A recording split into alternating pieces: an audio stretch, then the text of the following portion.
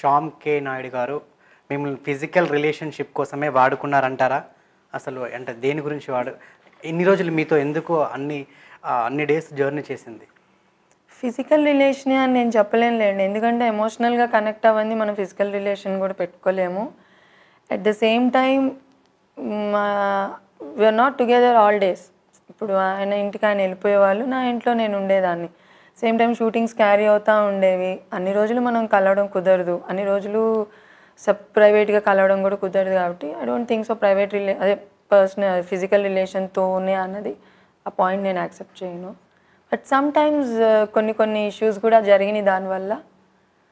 అది కూడా నేను రైజ్ చేస్తున్నాను కంప్లైంట్లో. సో మీరు ఇప్పుడు అన్నారు ఎమోషనల్గా కనెక్ట్ అయి ఉన్నామని. మీరే కనెక్ట్ అయి ఉన్నారా? తను కూడా కనెక్ట్ అయి ఉన్నారా?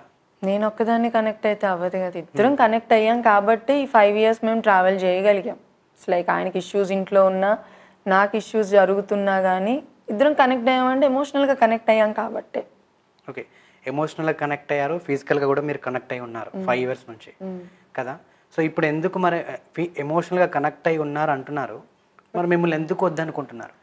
బట్ సొసైటీ ఇంకా యాక్సెప్ట్ చేయదు కదండి. సొసైటీ యాక్సెప్ట్ చేసే స్టేజ్లో ఇంకా సొసైటీ రాలేదు కదా ఇద్దరు ప్రేమించి ఇన్ని రోజులు రిలేషన్షిప్లో ఉన్నది?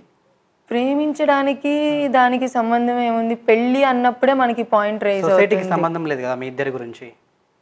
పెళ్ళి అన్నప్పుడు సొసైటీకి కావాలి కదండి. ఎన్ని రోజులు లవ్ చేసుకుంటూ తిరుగుతా కూర్చుంటాం?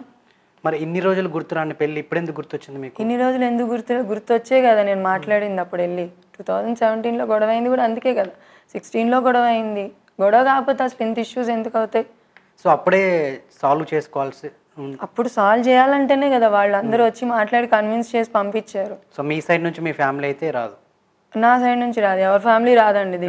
ఎవరి ఫ్యామిలీస్ రావు. మీరే సాల్వ్ చేసుకోవాలి. నేనే సాల్వ్ చేస్తాను ఎందుకంటే నేనే దిగాను కదా. ఇది ఎవరికి చెప్పి చేసుకున్నది కాదు ఇది. స్వతహాగా ఎవరికి వాళ్ళు ఇద్దరు ఇన్వాల్వ్ అయ్యి చేసుకున్నది. ఇంకా ఆయనైనా వాళ్ళ అసిస్టెంట్లకి వాళ్ళకి వీళ్ళకి చెప్పుకొని వచ్చున్నారు. వాళ్ళ బ్రదర్కి వాళ్ళ అక్కకి అందరికి. నేను ఎవరికి చెప్పలేదండి. ఎలా చెప్తాం ఇది?